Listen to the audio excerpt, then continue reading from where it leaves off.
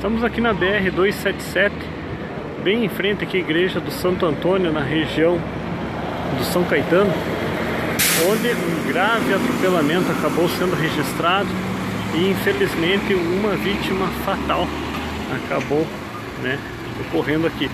O acidente foi um pouco antes da divisa ali, do acesso, né? Com a entre a antiga pista e a nova pista da BR 277, antes do posto Mariental. E o corpo de um homem aí aí sobre a pista entre as duas faixas da BR 277 nesse grave atropelamento registrado aqui. Vocês podem acompanhar. O homem estava com uma bicicleta e acabou aí, acabou é, sendo né, colhido por um veículo, conforme as primeiras informações dos agentes da BRF. Esse acidente aí aconteceu provavelmente um veículo montana acabou aí fazendo o atropelamento e fugindo do local, fugindo do local. E o pessoal aí está fazendo buscas aí de informações sobre esse carro, esse atropelamento. A vítima fatal a gente está aguardando a identificação, informações iniciais aí que a vítima ela foi um ex-funcionário de uma terceirizada da aviação e obras com o nome de José. José aí é a primeira informação que nós recebemos né? Esse grave atropelamento aqui na BR 277 bem né você pode ver aqui que seria bem próxima a onde a igreja aqui do Santo Antônio, né? A PRF, os agentes da Rodonorte estão no local. A igreja do Santo Antônio mais ao fundo, para localizar melhor, né? Aqui é o acesso ao bairro São Caetano, tá escuro. Aqui a pista está pelo acostamento, né?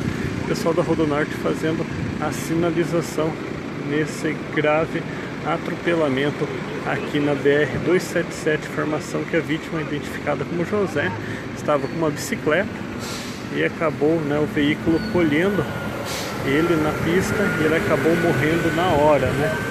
Não resistindo aos ferimentos. Viatura da PRF no local também, a ambulância da Rodonorte chegou rapidamente para prestar os primeiros socorros, mas a vítima já estava em óbito, vítima identificada inicialmente como José, né? E estava com uma bicicleta. O veículo, conforme foi informações passadas pelos agentes da PRF, seria uma caminhonete, você sabe ainda o modelo da caminhonete certo, seria uma caminhonete e essa caminhonete acabou evadindo-se do local aí desse grave atropelamento aqui em frente, quase em frente aqui à igreja do Santo Antônio, região aqui de São Caetano, né?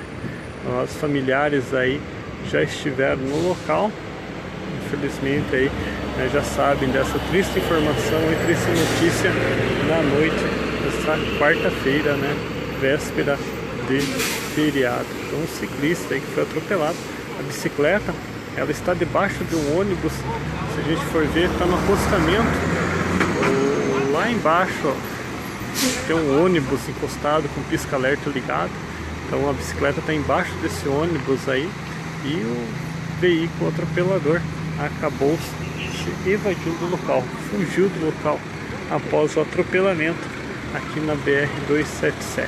Denúncias aí podem ser feitas ao 91 ou também aí para a Polícia Civil tentar aí buscar o autor aí desse atropelamento na, na BR-277 até perguntaram aqui se ele trabalhava, né, não é isso, trabalhou ali na uma empresa terceirizada, né, na viação e obras, na prefeitura de Campo Largo, Sr. José, primeira identificação que foi passada aqui.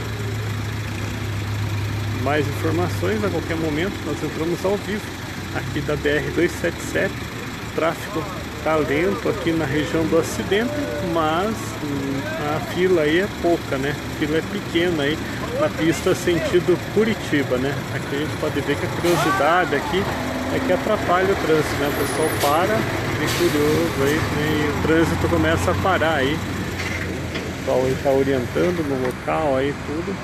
A fila é pequena ainda, mas segue a orientação aí das equipes da CCR Rodonorte